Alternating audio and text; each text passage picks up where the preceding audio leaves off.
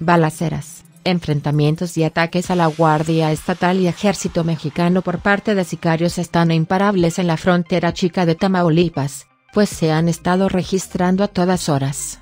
El primer reporte se dio el pasado lunes, cuando militares se enfrentaron a civiles armados perdiendo la vida un militar de nombre Jair R. y logrando abatir a seis sicarios del cartel del noreste.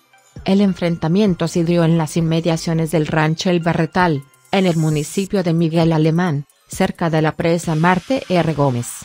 El día de ayer martes grupos antagónicos de la delincuencia organizada protagonizaron un cruento enfrentamiento armado, terminando con tres hombres decapitados y dos abatidos, hechos violentos registrados en el poblado de Guardados de Abajo y el municipio de Miguel Alemán.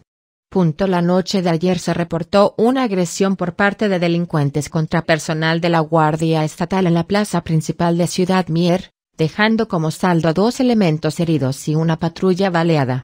De estos hechos la autoridad estatal no ha revelado detalles.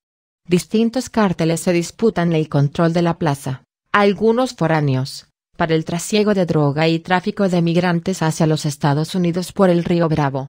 Además de Miguel Alemán, la frontera chica se conforma por Mier, Díaz Ordaz, Camargo y Guerrero.